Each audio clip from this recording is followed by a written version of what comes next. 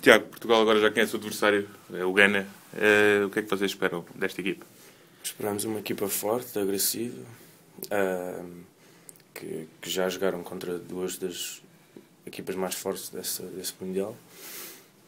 Não vai ser fácil, mas vamos tentar fazer tudo para, para que corra bem. A equipa não sofreu golos no último jogo, é assim que quer continuar? Claro que sim. Isso é um objetivo para todos os jogos e vamos tentar que isso seja assim até o fim. No esta defesa já jogaram três duplas centrais. O Tiago Ferreira e o Edgar Iê no primeiro jogo, o Edgar Iê e o Tiago Ilori no segundo, o Tiago Ferreira e o Tiago Ilori no terceiro jogo. Sente-se mais à vontade de jogar com o Tiago Ferreira ou com o Edgar Iê? Ah, eu sinto à vontade com os dois, conheço bem os dois. Já joguei com o Edgar no clube, mas o, também sinto bem com, com o Tiago, por isso é, é indiferente. A luta é renhida ali no eixo da defesa. É, há muita qualidade.